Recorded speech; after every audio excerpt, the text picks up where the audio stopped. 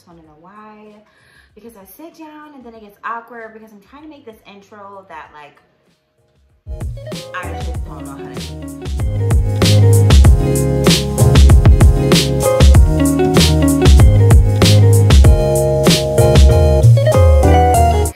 Drop down in the comments below.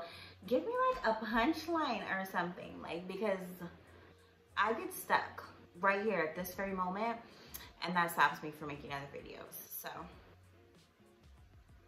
it just feels hella generic. But anyways, welcome back to my channel, you guys.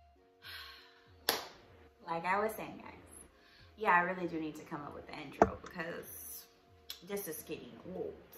But I'm coming to you guys with good news for me anyways, for you guys too because you guys are definitely following me on my journey. And I I love getting all of I love getting all of the messages on Instagram. Like I love it. It really makes me feel like I'm doing something like like a very small like peon and life, but you know, it really does make me feel like I'm doing something. That being said, I had stopped posting as many videos because I didn't want to be phony with you guys. Like, I wasn't doing nothing. I mean, I was working. I was, obviously, I've been working, but I just felt like I didn't want to,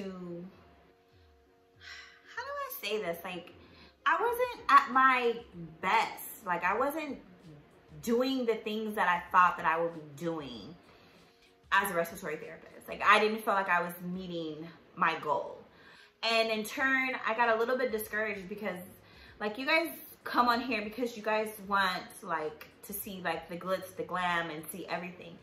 And during that period of my life, these last few months, like I have not felt like I have been hitting those like those like milestones that I thought I would be hitting. So I sat back, I really reevaluated my career goals, my life goals, my family goals, my personal goals, and then I threw them all out of the window. Because when I set those goals, those goals were not me in the present. You get what I'm saying? They were not, they had nothing to do with me now. Those were goals that I set when I was a struggling student, which was get a job, move, very small things. You know what I mean? It wasn't like get a job that offers great benefits, great pay, extraordinary experience that wants you to grow with them. None of that. It was girl, get a job. That was it. That's it. And that's what I did. I got a job. I got two jobs. But I quit one, which I'll link that video over there, talking about why I quit my first respiratory job, which I regret, which I'll make a video about that too. Um, but then I had this job that is, that has the potential to be an amazing position. But I am just not there. Like this position is not for me if that makes sense. Um, I got hired right after school. I already worked for the company. The company is very large company. It's linked with a whole bunch of other uh, hospitals. Um, and so I felt like I was doing the right thing by sticking with this hospital system and trying to grow with this hospital system.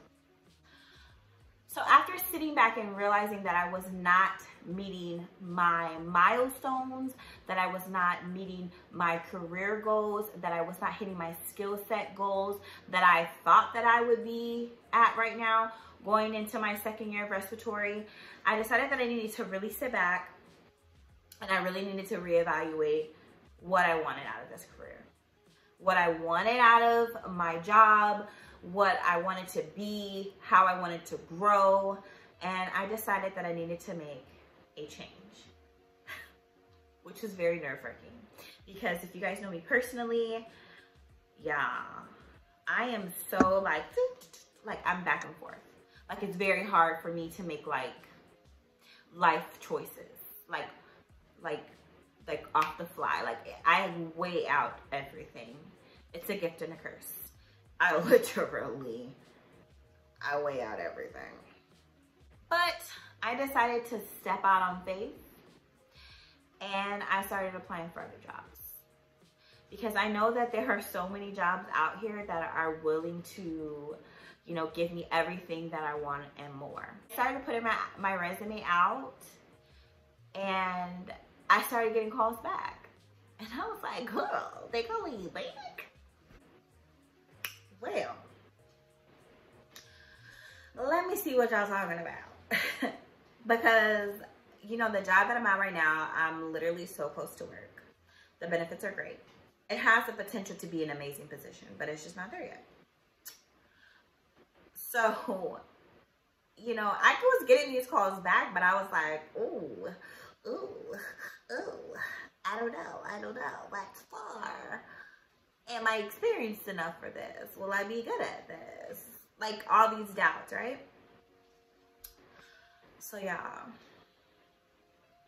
First of all, it took me a while. Like I revamped my resume and I talked to Chris, my husband, about you know, branching out. And he's like, go for it, girl. Go for it. Do it. I, I don't know what took you so long because I would be this and this and this and this and this. And I was just like, okay, okay, whatever, whatever, whatever.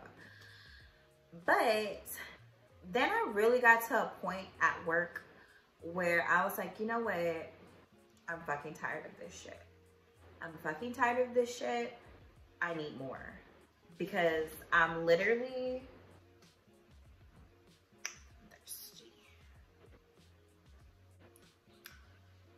I was literally going around and doing the same thing at work.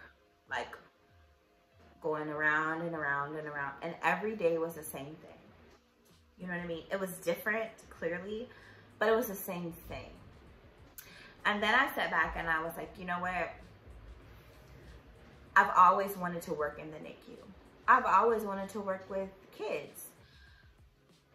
I never wanted to just strictly be with adults. I wanted to get a wide variety um, of things. And I wanted to get that early on. So that way, when I look back at my career in five years, I'm not looking back at a whole bunch of bullshit, which is what I felt like my career was going right now. I felt like I was heading to a career of bullshit, of being trapped by good money. You know what I mean? I, it was good money, so I was like, whatever. I'm making great money, you know? But then I sat back and I realized like if I ever wanted to leave this company, that I was gonna need a lot more than just saying, hey, I made a lot of good money. They do not care about that. And there I go again, just going all off on a rampage, talking about whatever I'm talking about. This see, this see, see, see. I'm gonna jump right in there, you guys. So I accepted a new travel assignment. I know, I know. I know that I said that I wasn't gonna do any travel assignments months ago when COVID first hit. I tried to make a sit down video, you guys, but I'm just, I am not feeling it, okay? Like, I'm not feeling the sit down video. Like, ignore the fact that my cabinet is open but I'm just not feeling the sit down videos. Okay, it feels forced as fuck. That's what it feels like. It feels forced as fuck. I don't want to feel forced as fuck to make videos.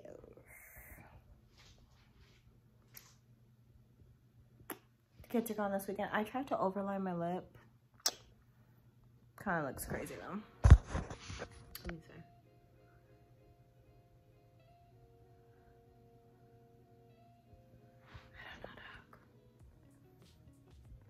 Think I just have to try again another time.